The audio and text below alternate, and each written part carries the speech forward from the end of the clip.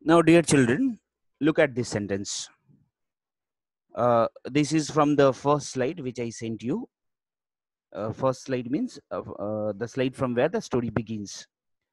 The disputes involve Wikimedia Commons and the blog Take Dirt, which have posted the images. So here you can see the dispute involves Wikimedia Commons and the blog Take Dirt. So this is a principal clause. And look at the other part. So other part, see, you can see here very clearly.